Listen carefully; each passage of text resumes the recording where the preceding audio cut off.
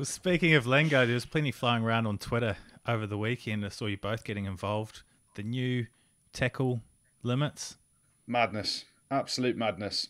Had a bit of time to digest it, and I actually Googled like a human body map, like a diagram, a diagram, not a map. It's a map or a diagram uh, of head, shoulders, knees, Knees and, and toes, toes, knees, knees and and toes. toes.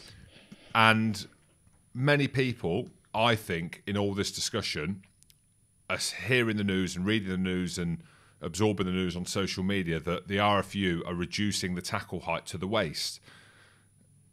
You're a good man to talk about this. The waist is actually higher than you think, Andrew.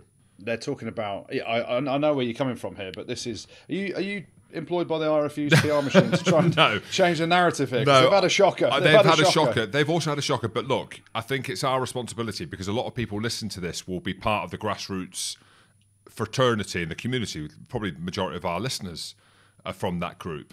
So I think one can be emotion led, but I think also we need to deliver them details. So it's not hips, it's waist, right?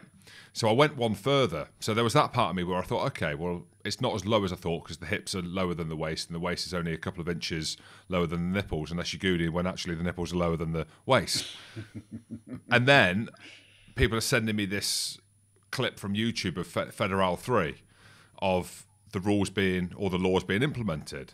And that's where I was like, my, my goodness me.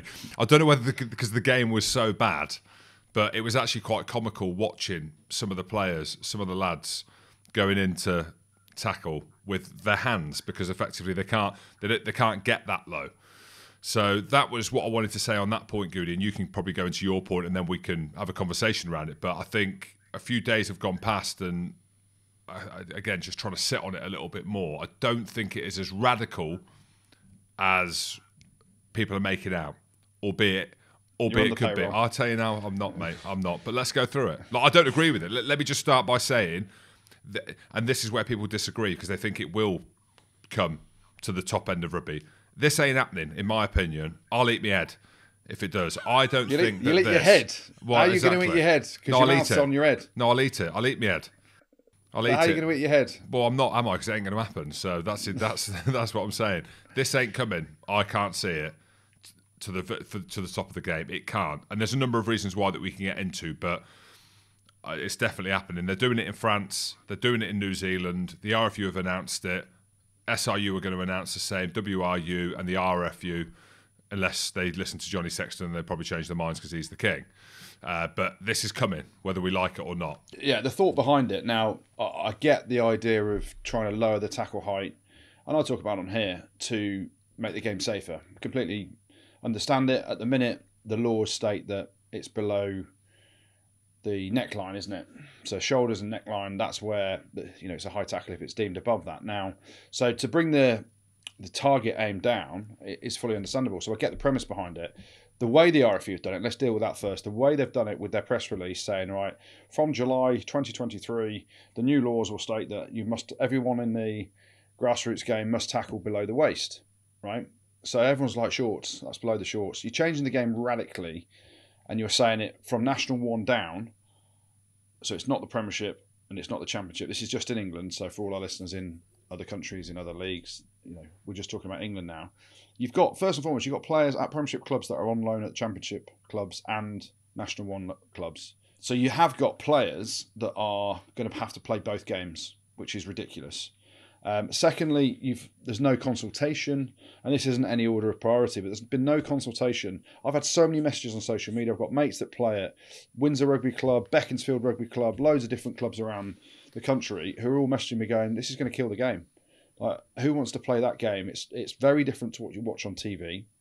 Um, and in terms of how they've announced it, they've not given any serious guidelines. That they did a second uh, sort of PR announcement by then saying we'll come, you know, we'll, give more information in a few weeks' time around how it's structured, how you know it's refereed, etc., etc. If you're going to radicalise the game that much and do a pe- press release, and I don't know whether they were forced into something around you know the, the legal battles that are going on behind closed doors. Um, I don't know whether they were trying to change the narrative around getting away from Eddie Jones. I don't know whether Bill Sweeney's woken up and just gone, oh, let's do something because uh, I'm awake now. The sleeping bag's got a bit sweaty, and I, and I decided to wake myself up. But the whole process of it, how they've announced it, shocking. there's been little consultation, if any, to the majority of the people that this is going to affect. So you go to the the grassroots clubs, the players are like, "Who's voted for this? Who said this is a good idea? Who's been consulted on this in terms of the levels that are going to be affected?" So they've taken a top tier view of this is what we're going to do to change the game without any consultation. Um, and I personally believe, yes, it's going to come in. You have to change something to change behaviours, to make it safer, etc., etc. And my argument was in my column, if it's at shoulder line, neckline now, in terms of where a high tackle is, and you want to get to even lower, then start off with the nipples. You know, they tried it in the Championship Rugby Cup a few years ago. MLR. Yeah, start at nipple line or chest line. And I've joked on here well, if it is the case, if that is the case, I'll come out because my nipples around my knees and no one will be able to tackle me. But I don't literally mean it. But you know what I mean? It's, you sat there and you're thinking, who's thought of this? And you, know, there's loads of science and research behind it. Well, who follows science now? Who follows science and data? Don't don't get political. Let's not do it. But let's do it. there we go. Follow the science. Got what?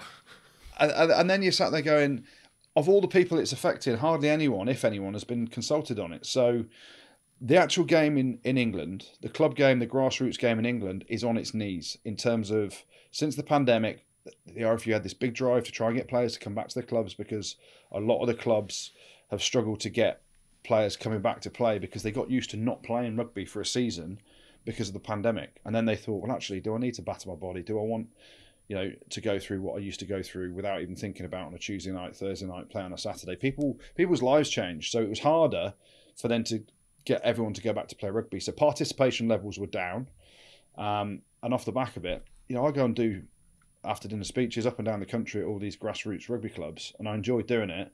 But part of them is you go into them and they'll every I guarantee every time I'm at a club, someone will go, "Oh, he's our Andy Goode," and they'll point at some fat bloke with his nipples around his knees because they're they're comparing themselves to ex-professionals or professional players, and then there'll be another one go, "Oh, there's he's our Owen Farrell."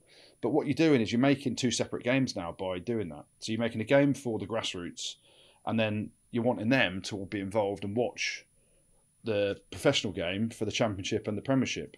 Are you stopping a team from the grassroots from coming up the leagues because it's then a different game in between two leagues, the Nat one, Nat two, the championship, so that you might be blocking that pathway. It's so radical in, in everything they've done, and it's a PR disaster. So whoever is their PR team that's uh, advised them to do this. is either a knee jerk reaction because there's something at play behind closed doors around the legal battles, or again, it's just clueless leadership from the RFU. And um, you know, we're in this place now where everyone's debating it. No one really knows what it entails. You've got Nigel Owens coming out and saying it's going to be hard on the referee. How's a referee going to referee this? The game's hard enough to referee anyway, and half of them can't get it right at the top level. Let alone imagine some of the refs in the in the grassroots, and that's what people say to me when I'm doing afternoon speeches around the country, and I, I moan about some of the refs and we talk about GMO Goody match official and all that stuff, they they're all laughing about some of the refs at the lower end. So how are you making their job even harder? Um, I get the premise of it. How they've handled it is horrific, and you know I think it will kill the game at the grassroots level over time in England. Pod, pod, pod, pod. Rugby pod.